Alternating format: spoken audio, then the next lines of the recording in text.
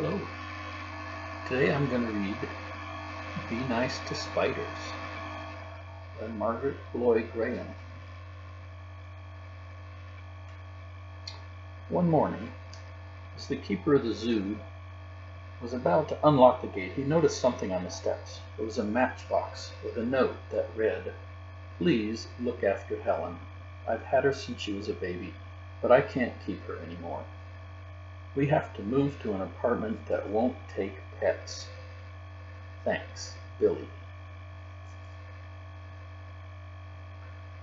The keeper opened the matchbox and out jumped Helen. Great Scott, he said, a spider.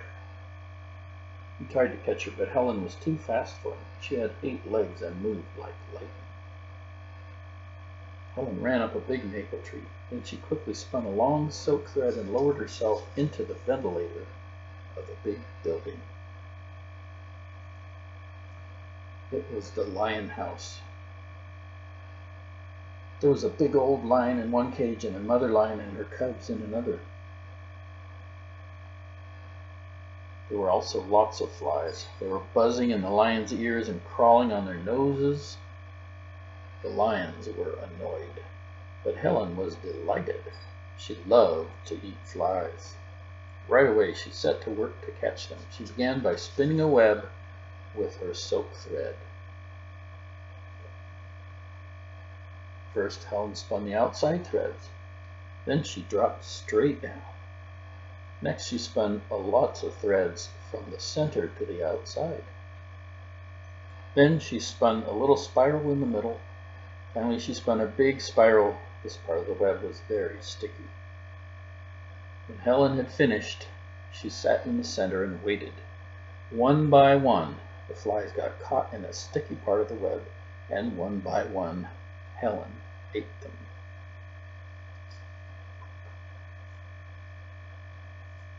A week went by. Helen kept catching and eating flies until there were no more flies in the lion house. She had caught and eaten all of them.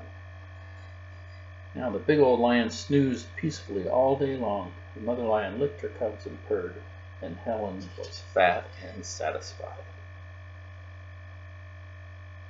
Next, Helen moved to the elephant house. There were lots of flies there too, and elephants don't like flies any better than lions do. In a week, Helen had caught all the flies in the elephant house. The mother elephant and her baby were happy and could once again enjoy a bath. Then Helen moved to the zebra house. Flies were crawling all over the zebras and driving them wild. As soon as Helen had caught all the flies there, the zebras were able to eat their hay in peace. Helen went from one building to another, spinning webs and eating up all the flies. The zoo became a peaceful place. All the animals were happy and contented. As for Helen, she was happy and contented too. It was a spider's paradise. One morning the keeper blew his whistle three times. All the men came running and the animals looked up to see what was going on. Boys, said the keeper, the mayor is coming to inspect the zoo this afternoon at four. The animals look fine, but the cages sure need cleaning up. And don't forget to get rid of all those spider webs. But chief, said his assistant, scratching his head, I thought spiders were supposed to be sort of useful. Joe, said the keeper, those webs make the place look a mess. Okay, boys, get busy. Men started sweeping the cages. Then they hosed and scrubbed them down.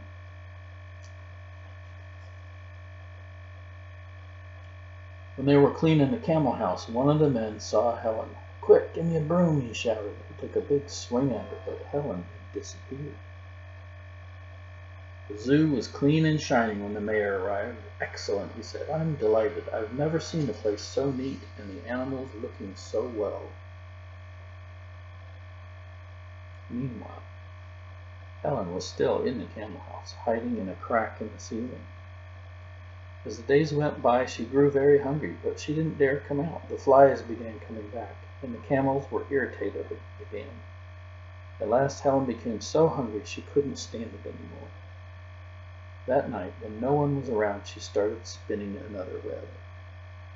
From then on, Helen stayed in the camel house, catching flies, but she didn't dare go anywhere else, which was lucky for the camels.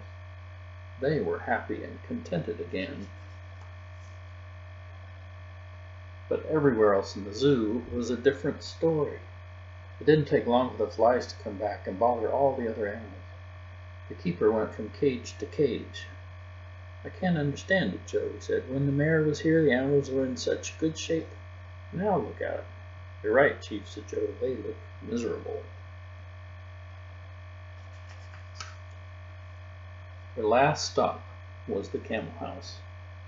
Why, the camels seem fine, said the keeper. And there don't seem to be any flies in here, said Joe. They both looked around carefully. Look, Chiefs, Joe shouted. Now I know what's going on. See that spider up there? It's eating all the flies. That's why the camels look so good. Spiders are useful. That's what I tried to tell you the other day. Of course, said Joe, said the keeper. I should have known all along. Let's call them in. He blew his whistle and the men came running. Boys, he said, Joe has made a great discovery. Spiders are good for the zoo. They keep the flies from bothering the animals. They help us do our job. So from now on, here's a new rule. Be nice to spiders. So Zoo became famous for his happy, healthy animals, and Helen was treated like a queen.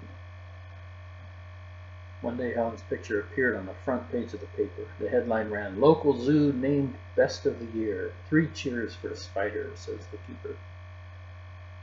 That evening, the father of the little boy who had left Helen at the zoo said, Billy, look at this.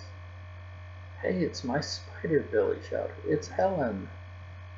Well, well, said his father, instead of the zoo taking care of Helen, Helen seems to be taking care of the zoo. The next morning, Billy ran to the zoo. I'm Billy, he said to the keeper. I'm the one who brought you that spider. Hey, look, she made an egg sac. I bet there'll be plenty of baby spiders soon. And Billy was right. A few days later, out of the sack came lots of little spiders. From then on, Helen and her children and all the animals in the zoo lived happily ever after. The end.